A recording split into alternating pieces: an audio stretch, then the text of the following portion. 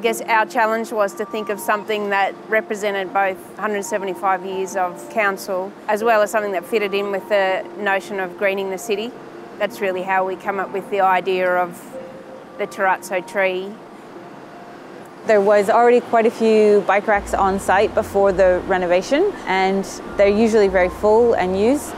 We had previously made a branch rack that sits out front of the Botanic Gardens on North Terrace and we were really happy with that and it fit in well with the greening idea and the tree drawing so it was just another element we proposed with the project. As you can see in the terrazzo tree there's line work in the concrete and that's made out of brass.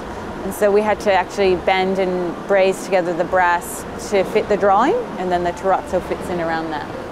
The tree has 175 branch ends and it also has a timeline at the top that is 175 years represented there.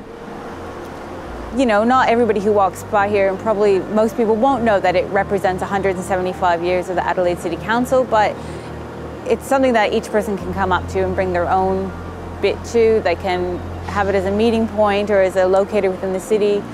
And yeah, it just kind of brightens up some of the spaces around.